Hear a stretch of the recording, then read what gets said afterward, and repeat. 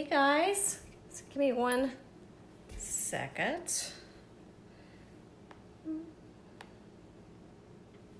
There we go. Give me one second. I want to share this.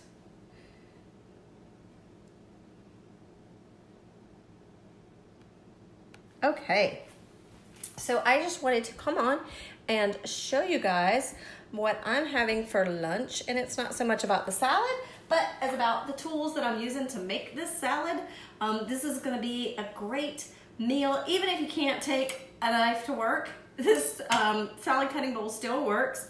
So to get it all ready, the other day I made some hard-boiled eggs in our quick cooker and you can make six eggs in like let's see, I do, I don't do what the book calls for.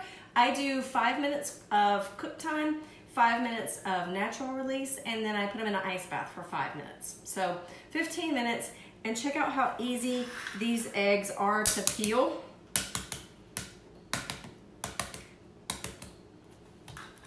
Bring it over here where I can get to it. So look at this. It just falls off of course, the other day I did not do the 15, five, five, and five. I did them a little bit longer because I got distracted. Yeah, let's be honest. But usually they fall right off in like two pieces. There we go. So I am going to put this in, yeah, apparently don't let them sit more than the five because this is harder than I've ever done. All right. Um, there, So you can do, um, if you get one of the racks that goes in it, you can do 12 eggs at a time. Um, then I'm gonna put it in our salad cutting bowl so you can take it to work But just like this. Take the top lid off and this has stuff that you don't want to get soggy, like your croutons. It has a little container for your salad dressing. Of course, you've got your fork and spoon set that if you are eating out of our make and take mason jar, you can flip the spoon set around so you can reach all the way in the bottom of the jar. You can keep your cheese in there, anything that you don't want to get soggy. And then the next layer has my lettuce, some spinach, some cucumber, my ham or chicken or whatever you want. I'm gonna put my egg in there too. And I'm actually going to take all of this out and use this base as my cutting board. So I was gonna show you, um, I can just throw my whole egg in there to cut it up, or you can use a little egg slice slicer, which is perfect for one egg or one strawberry, or you can use our quick slice, which you can do a couple of eggs, four or five strawberries at one time. It's great for making veggie trays because you can make strips of veggies or you can make a strip, pick it up, turn it a quarter of a turn, put it back on, and then dice it. Super easy and fast if you don't have the kitchen knife skills like you see the chefs on TV using chop, chop, chop really fast. This is fast to me. So I'm gonna throw my egg back in there, turn everything over and take the bowl off. And then I'm gonna turn this until it clicks. If you can hear it. You can't really hear it, but turn it until it clicks into position.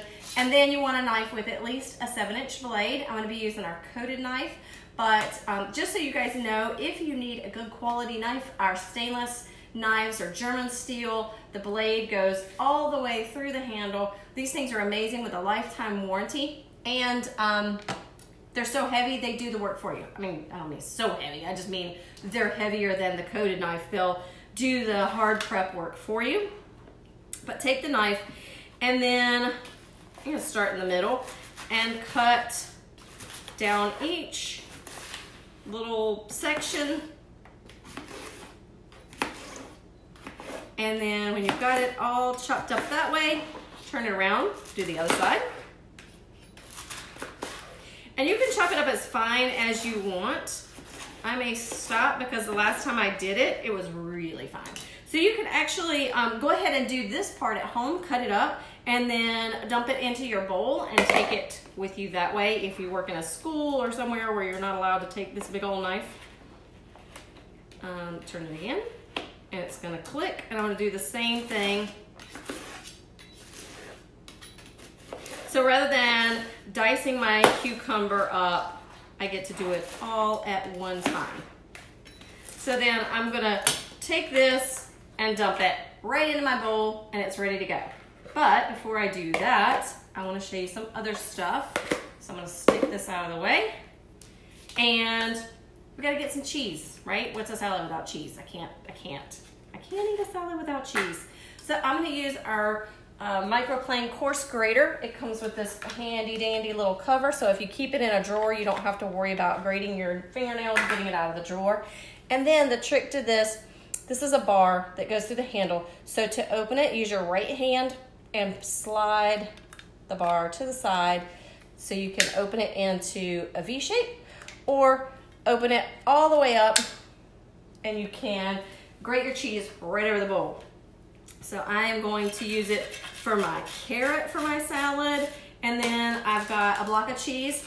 Always, always, always grate your own cheese. Keep the preservatives and stuff out of your food that they um, like to put in there to keep the cheese from clumping together, make it last longer. Create your own big block of cheese. You guys know you can stick it in the freezer to keep it from, um, to keep it fresh and to keep it until you need it. It's gonna melt better, it's gonna taste creamier, and you're gonna get more for your money.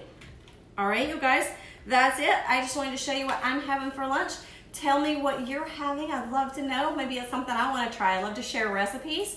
If you are watching this and you're attending somebody's Pampered Chef party, be sure to use their order link to place your order. Otherwise, you can order it on my website, www.pamperedchef.biz forward slash Christy Dodge. Join my team and get some of these items in your kit, well, in your kit when you join, or host your own party. I would love to help you stock your kitchen with all these great time-saving tools. All right, you guys, have a great day, and I'll see you soon.